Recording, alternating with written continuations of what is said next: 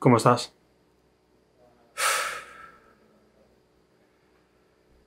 Excited as fuck. Día 1, Ultraman, mañana. ¿Qué esperas?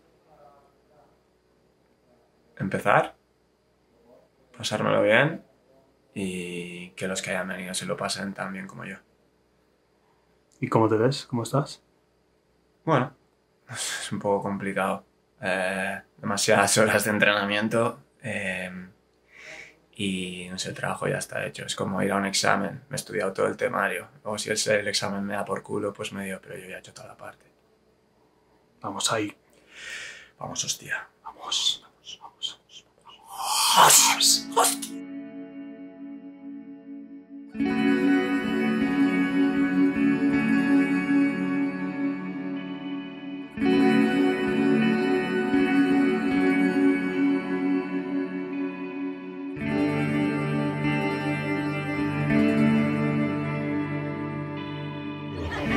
May whatever power or spirit you believe in give you strength physically, mentally, and spiritually to complete your journey.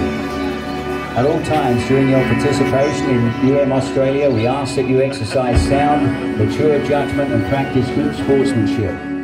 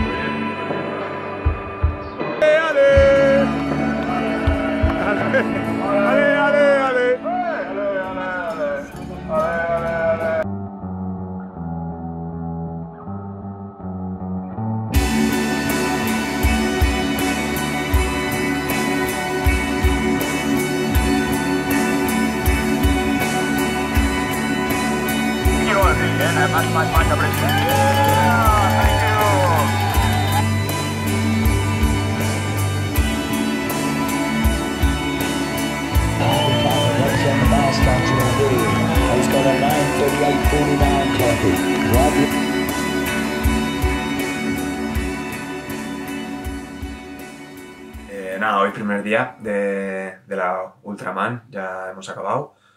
Y nada, al principio ha sido espectacular, en plan todos ahí juntos, eh, abrazados en un, en un corro, no sé, una... No sé si energía o qué, pero ha sido como, hostia, esto es algo, es otro rollo. Y nada, hemos hecho el nado, sensaciones, ha sido un roller coaster para arriba, para abajo, al principio bien, después mal, después de nuevo bien, después fatal y hemos acabado arriba, eh, como hay que acabar. Y luego nada, eh, straight a, la bici y la bici me he notado que, que iba muy bien. Eh, me he notado que todo el entrenamiento que había hecho que estaba paying off y que lo tenía hecho. Así que nada, primer día ya hecho y mañana más será un día duro, por un día largo, 280 kilómetros, 12 horas para hacerlo. Achievable, pero veremos lo que pasa.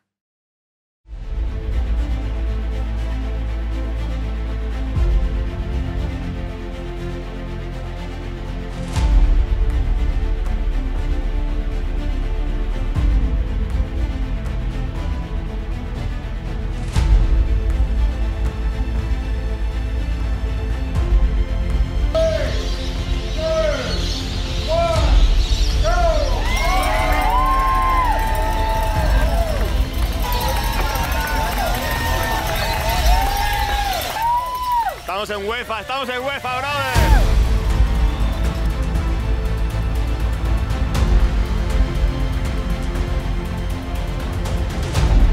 Vamos, vamos, vamos, presidente.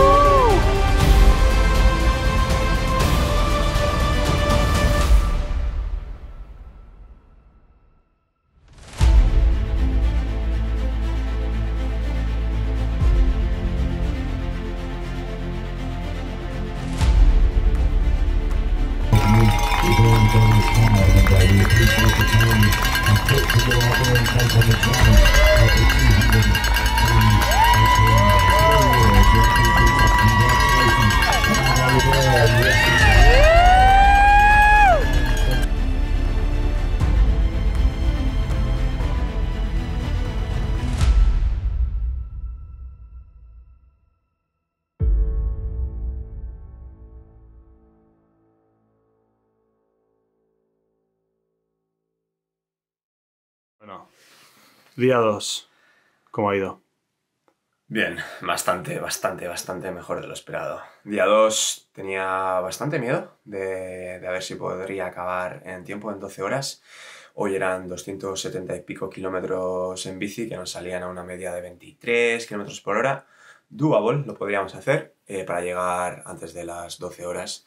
Y bueno, para eso teníamos un plan preestablecido. De, al principio, ganar un poco de tiempo y después ir conservando y teniendo la cabeza puesta en el día de, de mañana.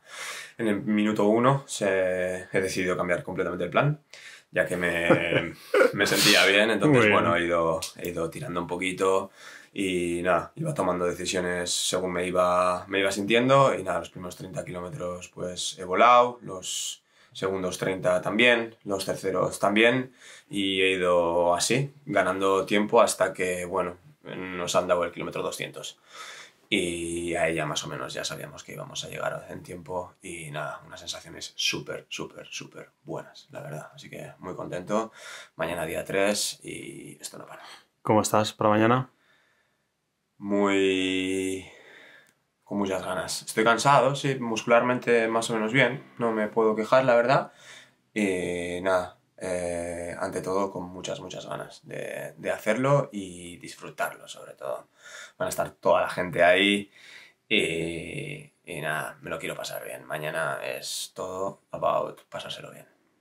Vamos. Vamos, hostia, vamos.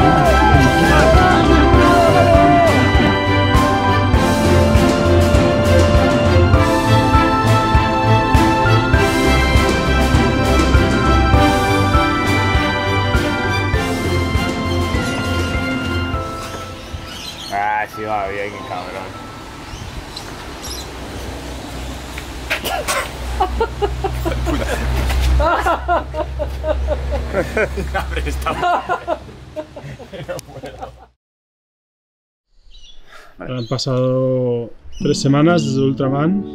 ¿Cómo lo ves ahora? Eh, lo veo lejos y, y cerca a la vez. La verdad es que sí, eh, la Ultraman fueron... La carrera fueron tres días, pero todo lo demás, ahora mirando para atrás, fue mucho más que, tres días. Eh, empezó con el simple hecho de pensar que, esto podría... que lo podría hacer o lo podríamos hacer. Eh, una idea que fue plantada ahí por, por Gerard. Eh, luego yo la pensé, no demasiado. Me animé a apuntarme. Me cogieron. Estamos hablando de, de julio del año pasado. Hace, pues eso, 11 meses. Y, y en primer lugar, cuando me apuntaron, o sea, cuando me cogieron, nada, no lo pensé, me apunté. Y, y luego cuando fui a hacer el pago es cuando me entraron dudas de si realmente económicamente esto merecería la pena. Y hubo quien quizá pensó que no, pero fueron también de nuevo mis amigos los que dijeron que, que sí, que esto era un once in a lifetime experience y que no me preocupara eh, por el dinero y que era toda una experiencia y una aventura para vivirla juntos. Y así fue, empezamos a entrenar, eh, entrené yo con, de nuevo con mis amigos y fue una pasada. Por eso te digo que no es solo una carrera, es todo lo vivido antes, durante y ahora me estoy dando cuenta que también es muy importante el, el posterior. Estos últimos tres semanas, mirar atrás y decir, ¡buah! Todo lo, todo lo vivido. Eh, pero que lo mejor es que no lo viví solo. Entonces me quedo con, con eso que es una triatlón, es un deporte individual, eh, pero que es lo más parecido a un deporte en equipo que, que he experienciado realmente nunca. Porque sin mí, o sea, sin mí, yo sin, bueno, obviamente sin mí, pero sin todos los de al lado y no solo los que fueron support crew, sino también los que me fueron a ver, que montaron un chiringo de la hostia, renunciaron a millones de cosas por, por demostrar que, que yo les importaba realmente, que llegaron a pasárselo bien. Luego el- la organización, que son todos voluntarios, que lo hacen por amor al arte. Y como no, todos los otros eh, participantes que, que de nuevo competíamos el uno contra el otro, pero realmente ahí no había competición. Cada uno competía con sí mismo y lo que hacías era compartirlo con los que tenías alrededor. Entonces eso es lo que me llevo por encima de cualquier actividad, logro personal, que eso al final es lo de monos. Te, te ponen una medalla, pero, pero todo realmente te, te lo llevas adentro. Así que nada, muy agradecido. No tengo nada más que decir.